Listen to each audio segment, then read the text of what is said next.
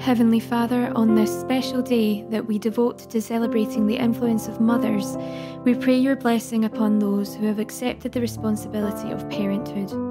We especially pray for those who parent alone because of the death of a spouse, or divorce, or separation. Strengthen them that they might become the loving and caring person you want them to be. Speak to those whose hearts are filled with sadness, anger, or disappointment.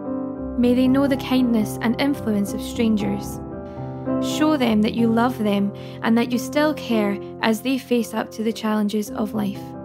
As we confront the challenges of this current worldwide health crisis, may we remind ourselves that there is no shame of being afraid, as we are all afraid from time to time. But if we truly love you with all our hearts and all our minds, then we have nothing to fear.